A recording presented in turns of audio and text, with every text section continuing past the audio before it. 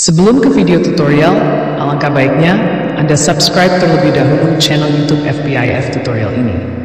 Serta jangan lupa like, nyalakan lonceng notifikasinya agar bisa melihat update terbaru dari video tutorial channel YouTube FPIF tutorial ini. Serta jangan lupa bagikan juga video tutorial ini agar banyak orang yang tahu. Terima kasih banyak atas dukungannya. Semoga para subscribers dan viewers channel YouTube ini sehat. Oke, Assalamualaikum warahmatullahi wabarakatuh. Jumpa lagi dengan saya Muhammad Iman Fatur Rahman di channel YouTube FPF Tutorial.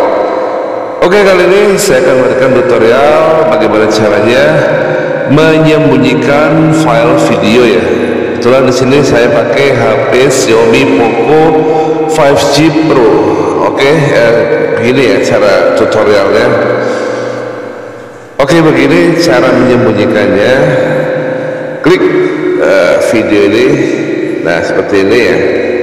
Jadi kalian sebelumnya harus masuk ke file manager terlebih dahulu.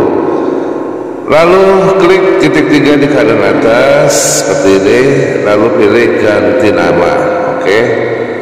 Nah, nama file ini kebetulan MP4. Nah, cara menyembunyikannya tinggal kalian hilangkan angka 4-nya seperti ini nih. Oke. Menyembunyikan chat WA titik MP. Oke ya. Oke, ganti nama. Nah, secara otomatis file tadi hilang. Ya, karena diganti nama. Dan kalau misalkan masih ada di sini, dia juga bisa dibuka filenya. Seperti itu ya. Nah, ini ada di bawah. Ini nggak bisa dibuka karena formatnya sudah berbeda. Dan gimana cara memulihkannya? Ya, tinggal kalian klik lagi videonya, ganti nama lagi, tambahkan angka 4. Nah, seperti itu.